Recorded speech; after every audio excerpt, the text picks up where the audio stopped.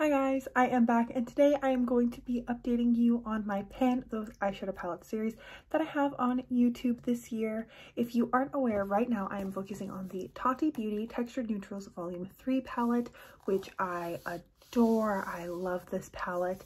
Um, I have picked four palettes throughout the year to focus on. This is my fourth palette. If you've missed my previous updates, I will leave them linked in a playlist down below so you can get all caught up.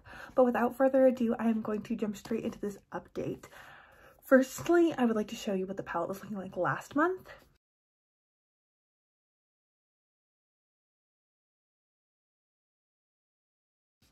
And then to remind you, the shades that I was working on were um, Soothe Metallic and Story Metallic.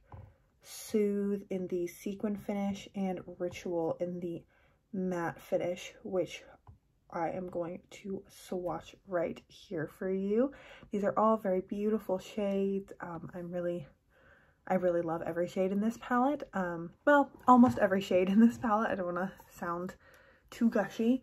Um, and this is what the palette is looking like this month. So as you may be able to see, I did hit pan in the matte Soothe shade. This was not one of my focus shades, but it is a shade that I tend to start with every single time I do my makeup.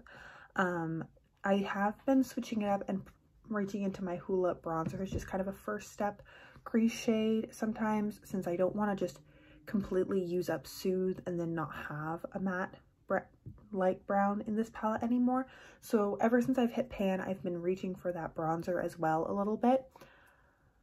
Other than that, um, I really love every shade in this palette. I've been reaching for the these two shades a lot. Um, I've been doing a lot of winged liner, so I'll reach for the black and ritual in the matte shades a lot.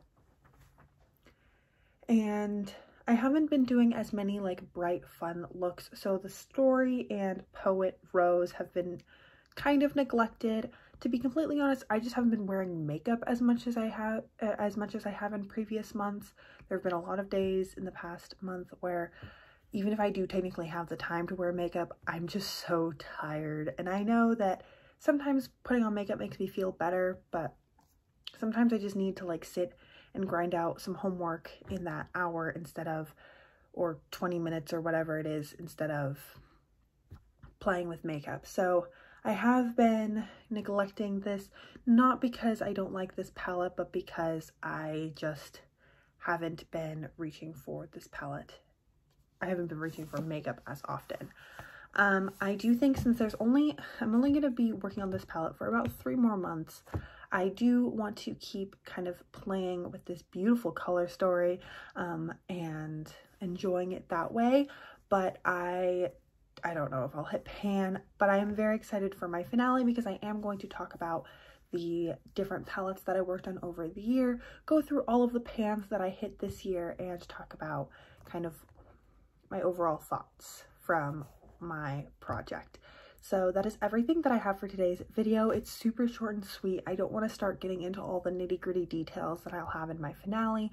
So I just wanted to show you what the palette is looking like now so that you, we can all look forward to my finale in, it'll be uploaded in about a month, but um, I I'm going to be out of town, so I'm going to be pre-filming that video. So I really only have three more weeks of progress left to see that is everything that I have for today. Thank you so much for joining me. I hope you're having an incredible, awesome day wherever you are and that I get to see you in a future video.